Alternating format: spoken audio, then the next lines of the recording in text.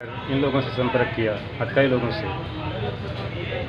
आज हमको दस हज़ार रुपया उनको दिया दे तो उन्होंने पकड़ लिया। आपके सामने? जी। जो आपने दिया वही भेजा किस तरह का वो पैसा था उसमें कुछ लगाया गया था? दो दो हज़ार की पाँच नोट थी। क्या लगाया गया था उसमें कुछ लगाया हूँ।